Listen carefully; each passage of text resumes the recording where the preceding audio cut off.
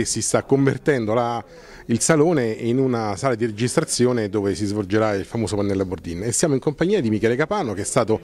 eh, ha diretto i lavori, è presidente del comitato, lo sarà per il prossimo anno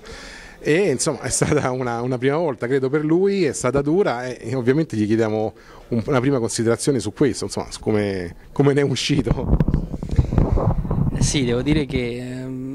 facendo parte, come ho detto, del comitato fin da, dal suo esordio oltre dieci anni fa, ehm, avevo un po' esperienza non di presidenza ma delle dinamiche che a volte possono, particolarmente nella conclusione dei lavori, crearsi. Effettivamente abbiamo avuto eh, molti documenti alla fine, c'erano due raccomandazioni, sette mozioni particolari e due emendamenti mm, proposti rispetto alla mozione generale e questo inevitabilmente ha creato una fase di dibattito piuttosto concitata. Mi auguro di avere con equilibrio consentito ai compagni di manifestare gli impegni per i quali avevano depositato i documenti, naturalmente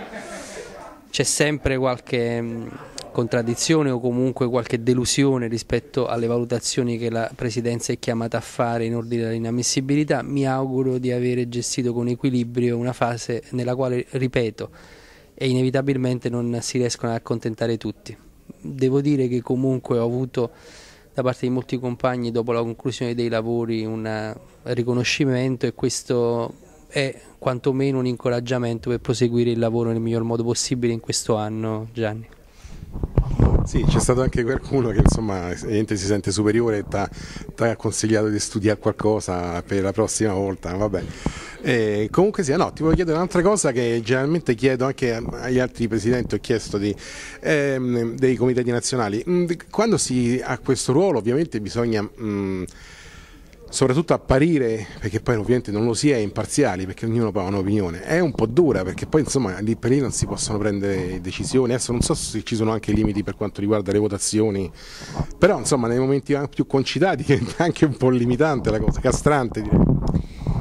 Sì, però devo dirti che ehm, siccome questo comitato si è aperto con le relazioni di segreteria e tesoreria e si è chiuso con una mozione generale che sono contrassegnate le relazioni e la mozione generale finale da una forte rivendicazione del ruolo dei radicali italiani, della sua dignità nel contesto pure degli altri soggetti dell'area radicale, devo dire che presiedere un organismo che da parte del segretario e del tesoriere stesso viene vissuto come rappresentativo di un soggetto che rivendica